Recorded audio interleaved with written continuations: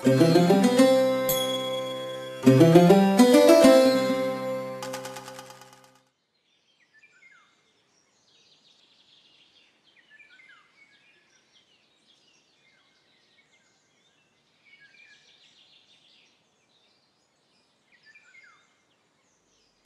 പെയ്യിട്ട് Covid വന്നെന്ന് പറഞ്ഞ പോലെ ആയല്ലപ്പ ഈ കോൺഗ്രസിലെ കാര്യങ്ങൾ അവിടെ മുല്ലപ്പള്ളി പെയ്യിട്ട് സുധാകരണ്ണം വന്നിട്ടും ഒരു മാറ്റവും ഇല്ലല്ലോ. ഈ പറയുന്ന കേട്ടാ തോന്നും ചെന്നിത്തല പോയി സതീശൻ വന്നപ്പോ അവിടെ എല്ലാം മാറിയെന്ന്. കോളറ പോയി വസൂരി വന്ന പോലെ തന്നെയല്ലേ അതിലും സംഭവിച്ചത്. എന്നാലും ഇതൊരു ഒന്നൊന്നര വരവായി പോയി ഇപ്പോ. സുധാകരൻ മൂപ്പരും സതീശൻ മൂപ്പരും കൂടി ഡുവേറ്റ് പാടി കോൺഗ്രസിനെ പറപ്പിക്കൂന്ന് വിചാരിച്ച ഞമ്മളിപ്പ ആരായി? കോവിഡിലും ഭേദം കൊറോണ തന്നെയാന്ന് പറയിപ്പിക്കേണ്ടി വന്നില്ലേന്ന്. ചുമ്മാ അതും ഇതും പറയാതെ മനുഷ്യ. ഒരു മാറ്റത്തിന് വേണ്ടി അവർ പ്രവർത്തിക്കാത്തതല്ലെന്നേ.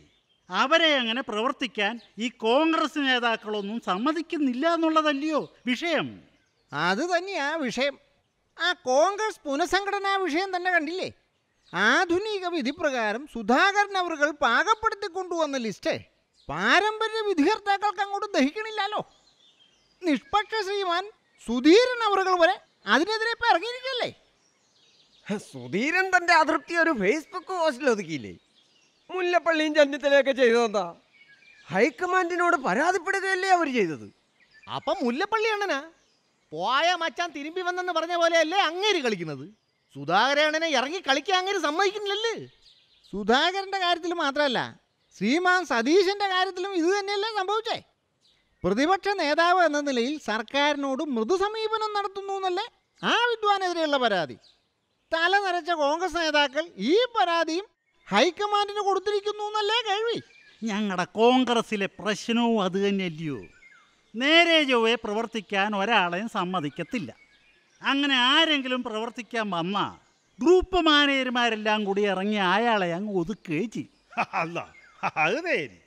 ആ ന്യൂനപക്ഷ സ്കോളർഷിപ്പ് കേസിൽ തന്നെ കണ്ടില്ലേന്ന്. പാക്കാ സ്റ്റാൻഡ് എടുത്ത സതീശ മൂപ്പര ഞമ്മളെ ലീഗിനെ മുമ്പിൽ നിർത്തി. കോൺഗ്രസ് നേതാക്കൾ തന്നെയല്ല ഇപ്പോൾ തിരുത്തിച്ചേ? കാൽ മാറ്റി പറയാൻ ട്വന്റി ഫോർ അവേഴ്സ് പോലും അവരിവർക്ക് കൊടുത്തിട്ടില്ല ഇതിലൊന്നും ഒരു കാര്യമില്ല പി. എല്ലാവരെയും തൃപ്തിപ്പെടുത്തിക്കൊണ്ട് ഒരു പുണ്ണാക്കും ചെയ്യാൻ പറ്റൂല. മുരളിയണ്ണം പറഞ്ഞ പോലെ കേക്കണ എല്ലാ സൗണ്ടിനും ചെവി കൊടുക്കാതിരുന്നാൽ മതി. അതാണ് ബുദ്ധി. വികസനത്തിനുള്ള അവസാന ബസ് എന്ന് പണ്ട് ശ്രീമാൻ ആന്റണി പറഞ്ഞ പോലെയാ ഇതും. ഈ ബസ് കൂടി അങ്ങോട്ട് പോവാച്ചാലേ ഇന്ദിരാഭവനിലേക്ക് ഇനി വേറെ വണ്ടി ഉണ്ടാവില്ല.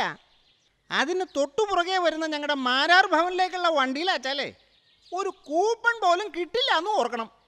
അല്ല അത് തേരി അതും കൂടി വിട്ടാ പിന്നെ ലീഡർഷിപ്പ് വണ്ടിക്ക് തല വെച്ചിട്ടും കാര്യം ഉണ്ടാവൂല. ലോറി കയറിയ തവളേനെ പോലെ ആകും കോൺഗ്രസ്. ആനയ്ക്ക് ശത്രു ആന തന്നെ. ആ